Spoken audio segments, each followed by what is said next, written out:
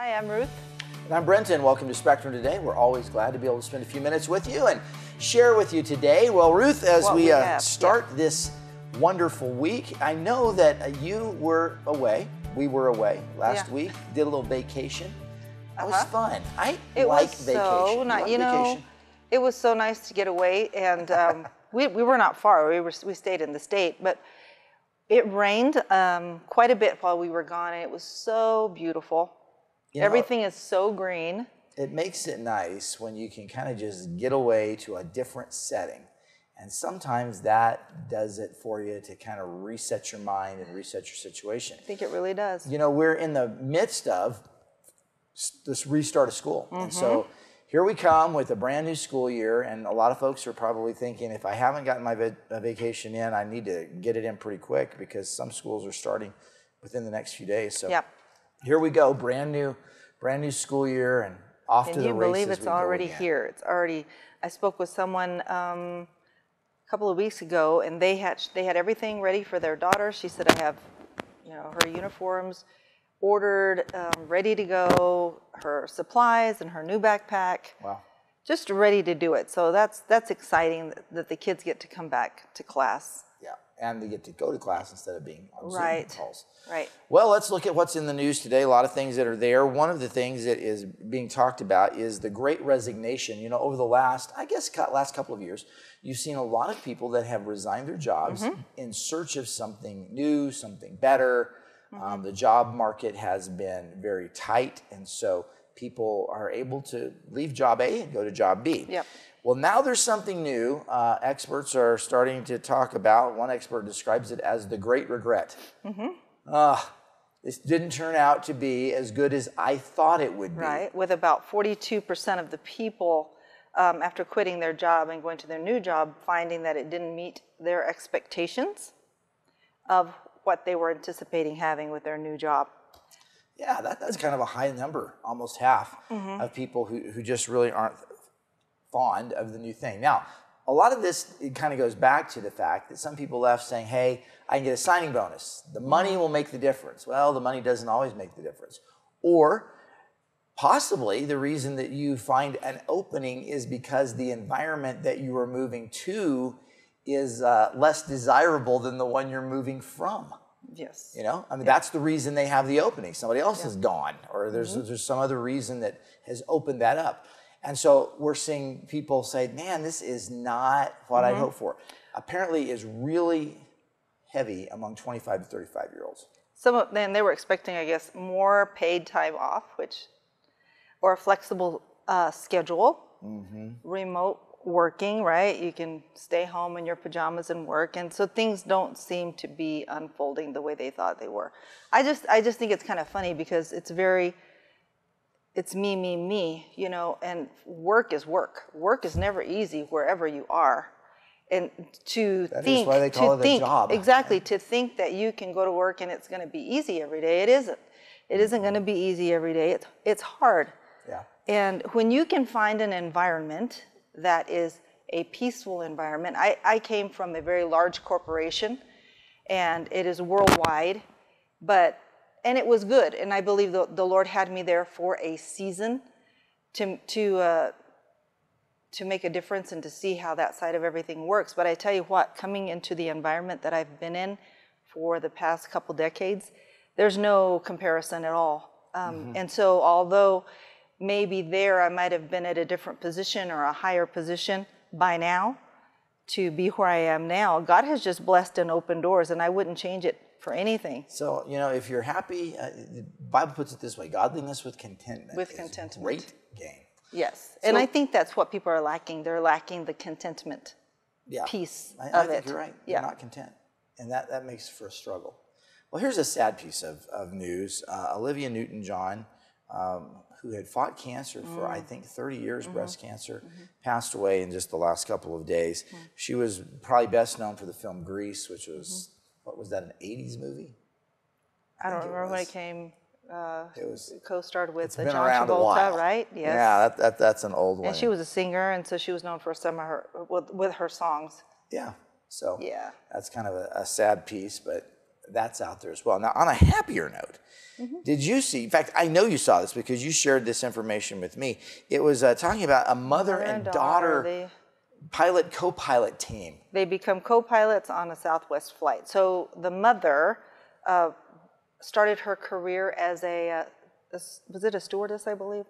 Wow, And sure. um, she started fresh out of college and she went to aviation school. She became a pilot. Well, her daughter, of course, um, was very, oh my goodness, I can't she was think of it. she was very well. She was very interested in this and kind of exposed, to the Mm-hmm. fact that hey, mom's a pilot, and this looks like something that I might want to do.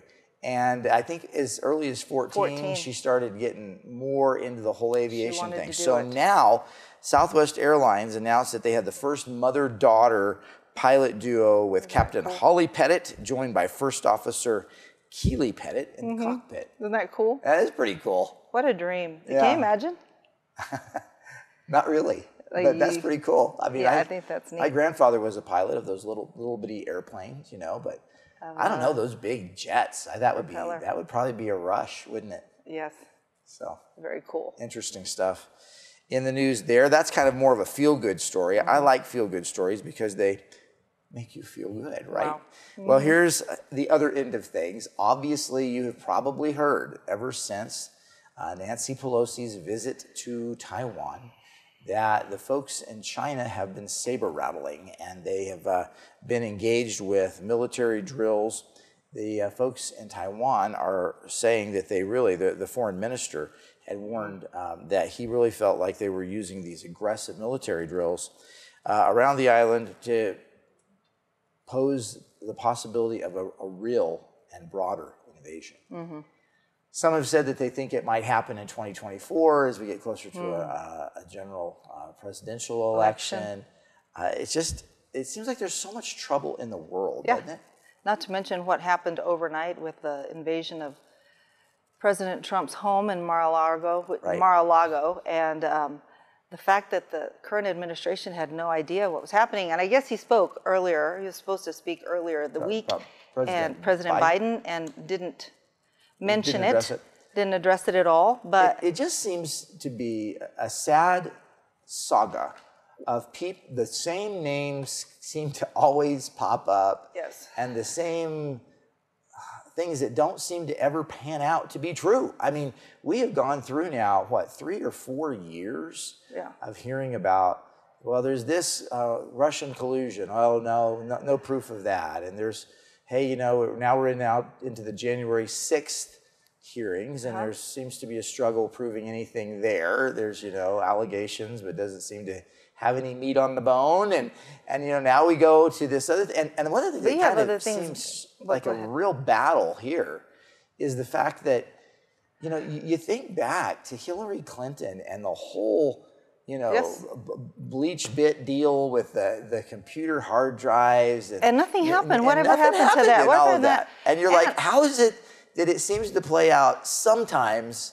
but not all the yeah, time it doesn't. It doesn't. Nothing ever goes forward with that. I don't. Under, I kind of don't understand that. And they, I think they said this morning. I heard that the judge that signed off on the the warrant, right, is connected to Jeffrey Epstein, who is connected to others that in higher Yeah, places. see, and that's so what I you mean. wonder There's this what's going sticky on. wicket of mire how and how deep that swamp You really know, is. I'm at the point of just let's just start over at ground And you know what? zero. And really, we do should- something new with better people because this doesn't seem to be. It just seems to be the You know- rehash every few months of another. You know, oh allegation. Oh, but we can't prove it. Oh, another. But I'm going to take you down. And oh, you know, but I- people oh, are upset. goodness. People are upset. There are people outside of, in Florida, there are people everywhere that are upset about what's going on because it's right in front of our, it's right in front of, our, right there. You can see it, you can smell it. Well, and the fact you that know you know exactly got, what it is. You've got it. It really There's a lot of unrest in our world There right is. now. And it really appears that, you know, the FBI engaged in something where you've got folks who it's very likely, I mean, I, he hasn't declared he'd running for president, Mr. Uh, Trump, but, I don't mean, you a think lot of people are part of thinking that that, so that that's he can't? kind of coming. Yeah, and if to, to get involved with a, a presidential campaign, you know, this, uh, all of this stuff is stuff that people say, oh, we can never do this. But then they It's do. all in the Lord's hand. The Lord knows everything. Mhm. Well, anyway. The heart of the king is in the hand of the Lord, and he moves it as he would a watercourse, is what the Bible says. So the Lord is in control of all things. Watch the Daystar Network 24 hours a day on KAZQ 32.5.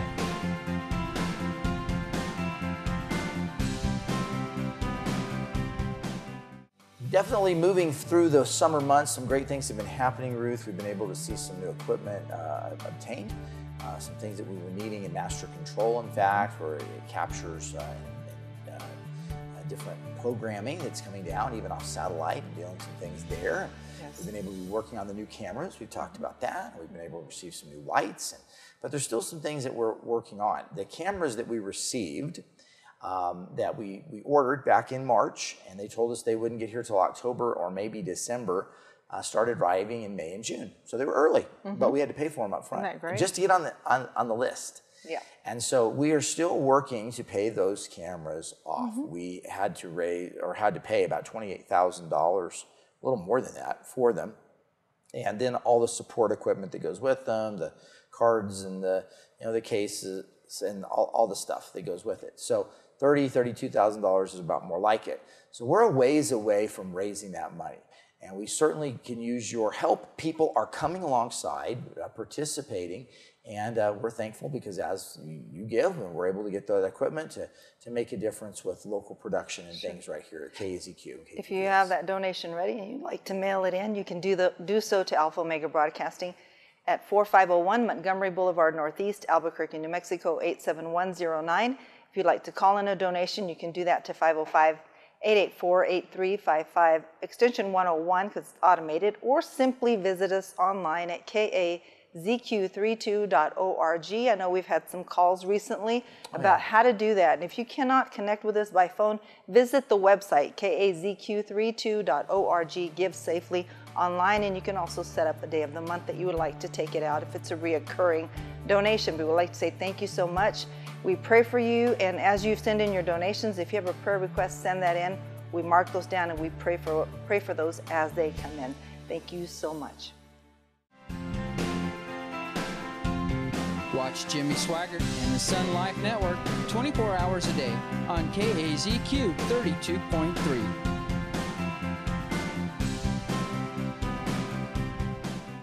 privileged to have with us today Terry Janow, who is a musician and a teacher, but he's also an author. And we're going to look at some neat things today. Terry, welcome back to Spectrum. It's been a while. We're going to talk to you about a book you've written, but glad to have you back. Thank you. I think it's good to be here. Thank you. Well, uh, today is something new. Usually, when I'm talking to you, Terry, we, we discuss some events that you do with for young people in the area. Albuquerque God's Talent. Yeah, that, the, the great event that you have sponsored over the last few years. But I understand that you have authored a couple of books. I guess I didn't know that prior. And you have a new book out, and this is an interesting title Musicians and Aliens for Christ. Man, how did you come up with uh, such a, a unique title? Well, we are aliens being in Christ for sure. People look at us like we're aliens, but I was born and uh, raised in Roswell, New Mexico. And you can go anywhere in the world and they've never heard of Albuquerque, but they all know Roswell. And um, Roswell's the home of the aliens. So I had to put that in the book because there's that really grabs people's attention because everybody goes, "Why would you have aliens in your book?" There you go. Maybe, maybe you get a few extra uh, points for interest there. Yeah. That's good. As you're, you're thinking about your own career, you know, you, tell us a little bit about your background, and then you started getting involved in missions along the way. But but to give us a little bit of your story, how did that all work together? Well, I grew up in Roswell. I went to uh, Goddard High School in Roswell, and we had a great band director. So he inspired me to be a musician. And I, um, I went to Eastern New Mexico University after I graduated for about a year and decided I didn't want to be a classical musician. So unfortunately, the Vietnam War was raging. That was back in at the end of 1969. And whenever I quit school, I got my draft notice, and I decided I didn't want to. Um, I wanted my choice of what I could do, so I auditioned for an Air Force band, and got in, and I spent the next four years um, in Illinois and near Chicago, and then the rest of my time playing in an Air Force band in South America and Central America. And when I got out of the service, I knew I couldn't come back to New Mexico. There just wasn't enough happening for a career. So I moved to LA and uh, built, uh, built up a career there in uh, teaching and working in the studios. And I um, taught music for 10 years at a, at a private college. It was called the Grove School of Music in uh, Los Angeles. And the earthquake came along and it destroyed my home. And, and my wife and I just said, you know, we're tired of life as a musician in LA because the focus was on me. Hmm. The focus was always on making money. The focus was always on how great I am as a musician. And it wasn't on Christ. It wasn't, I wasn't doing music for, for the purposes that God created music for. So then, where did you go next after LA? Um, after the earthquake, I got a call from the Lawrence Welk organization, and they asked me to join them. And uh, this was in LA. And then once once I joined them, we moved to Branson, Missouri, and I played with Lawrence Welk there in his new theater in Branson, Missouri, for a year. And my wife and I decided this just isn't any fun and a great organization, great musicians, but the life there was honestly was pretty boring because all I did was work from early morning to night, six days a week, all year round, and uh, just wasn't what I wanted to do. Now, you got involved with some things in missions, right? Toward Yeah. Indonesia. So, how did that fit into the puzzle? While I was teaching in LA, my wife's parents sent her to LA to study music, and I was her teacher. Um, and after she graduated, she went to the University of La Verne, and we started uh, dating. And um, I asked her to marry me. Well, after a year in Branson, we said, you know, we're just not living our lives the right way. So let's go to Indonesia. And we went to uh, we went to Indonesia and worked for the Full Gospel Fellowship, and and helped build a music program for a private Christian school in Jakarta. We were there for five years.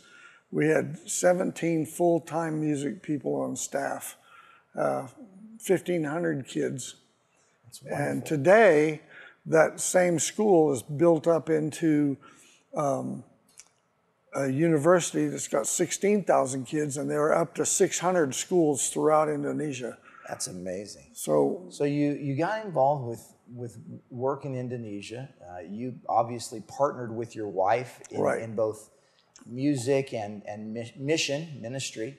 Correct. And as as you were traveling along, how did that, how did you begin then to? You said a lot of that season you were not very uh, excited about where music was taking you. How did you become more enthused about where music could take someone if they used their talents for God? when I quit working for people and I started working for God, life became really great. And I began to understand what the music should be and what it was. And a lot of people say church music is boring. To me, it's not. I love going in every Sunday and playing music that leads people into the presence of Christ because that's really my purpose. Zephaniah 3:17 said, "The Lord thy God is uh, is amongst the, you, and He will joy over thee and and sing over thee." Let's talk about your book for a minute, Musicians and Aliens for Christ. You said you wrote that specifically to help the next generation understand some things about music. Give us just a little glimpse. What is the book going to, to do for someone who reads it? Well, it's going to tell them how I grew up Okay. and, and, the, and the trials and the tribulations that I went through. But it's also expressing the people that God put in my life, even though I wasn't trying to follow Him. He had His hand on me even when I didn't know it. Isn't that interesting? And you know, and I think a lot of times we can see that in our own lives, and we see it in people in Scripture, how God is directing them, even though they don't know that they're being directed yet. I think of David oftentimes, and you see the way that God moved his life. And, and God has a plan for us. Yes. And, and scripture says the steps of a, a good man are ordered by the Lord. The Lord has a right way. Yeah, and, and I want them to understand that the people that He put in my life in, inspired me and encouraged me to be skillful. And throughout the Bible, it tells us God wants us to be skillful at whatever it is we do. That's true. And so if I hadn't have gone through all those trials and tribulations and hadn't have run into those people that push me and push me, I don't think I would be skillful enough to do the things that I'm doing today. That's that's interesting. Now I understand you you wrote another book. I, I mentioned it earlier. It's called The Simplified Guide to Jazz Improvisation. Uh, tell us just in a nutshell what, what was that all about? Well, when I taught um, at college in uh, LA, my, my job was I was um, the program director for the general musicianship program, and my job was to teach music theory to the incoming freshmen and, and sophomores to get them up to speed to where they could do the advanced music theory. And one of my jobs was to teach jazz improvisation there. So I taught jazz improvisation to kids from 32 different countries. And through that experience, I just kept notes and, and compiled it into a book. And uh, I say it's a simplified guide, but you got to know a little bit about music to be able to understand it. Um, so it's it's not an easy book, but if you know enough about chords and music notation, it really guides you step by step through uh, an approach to being able to create music instantly. So let's talk real quick about where these books can be found. I, I'm assuming that your Simplified Guide to Jazz Improvisation is still available. It's still available. Okay. And then the Musicians and Aliens for Christ. Where do you find both those books? They're both on Amazon, and um, the the Musicians and Aliens for Christ is available on Kindle. And if you buy it on Kindle, it's actually a little cheaper than buying the paperback on Amazon. There you go. And so they're very easy to find. All right. Well, look for these. These will uh, give you some encouragement, especially if you are interested in music or maybe you have a young person who's interested. These can really give them a life story of what God can do in the life of a musician. Thank you so much, Terry, for sharing with us. today. Thank you for sh- uh, inviting me.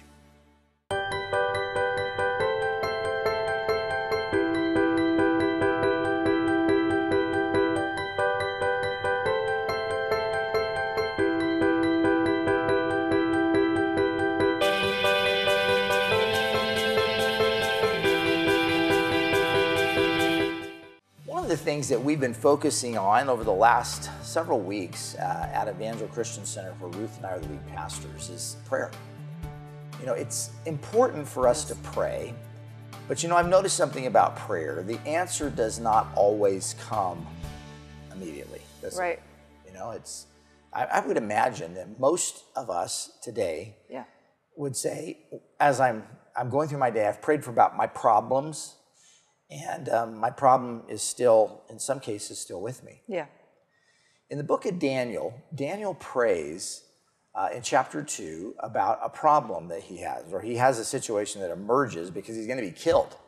Uh, the wise man. The men, king's problem. Yeah. yeah, the, the king has a problem with the dream, and he, nobody can interpret it. And he says, "I'm going to kill all the wise men," which uh, gets includes Daniel. But it says in the 16th verse, Ruth, Daniel went at once to see the king and requested more time to tell the king what the dream meant. Mm-hmm. Now, this is interesting because the very thing prior that the king had said to the wise men is, You're stalling and I'm not giving you any more time. Yep. But you know, when we are prayed up, God gives us wisdom and discernment and understanding, and He can also give us favor. Hmm. And even though you may not have the answer yet, God's hand can often be revealed that He's working, even though you don't know how He's working. I think many times he gives us uh, his peace in times when we still don't have the answer. I know in our family, a personal uh, experience that we've had, we had a family member, my mother um, was still here with us, and um, we had a family member, we were, she prayed for that family member, we did for 15 years. It, it takes a long time, and sometimes you're like, I don't see it, nothing's happening. But what are you going to do in those times when the answer doesn't come immediately? You have to be persistent and you have to persevere in your prayers, right. right? And we don't have time to, to cover the whole chapter, chapter two of Daniel, but the long and the short of that is God reveals a dream when he partners with Hananiah, Mishael, and Azariah, his Mm-hmm. friends, and they pray and God gives them the answer. Now, listen to this verse. Power comes in James prayer. 5, verse 16. It says, The earnest prayer of a righteous Yes. person has great power and produces wonderful results. It does more than you think it does. And I would encourage you today, instead of worrying so much, pray more. Mm. You know, you may be very discouraged with what's going on in your life or in our city or state or country. The best thing to do is to pray. Mm-hmm. That avails more than anything else. And just like he prayed with his friends, you find someone to pray with. Like the Bible says, where two or three agree concerning anything that the Lord wills, it will be done. And so it's important that you find others to agree with you in prayer and to lift you up, and you do the same for them. Thank you so much for being with us today on Spectrum.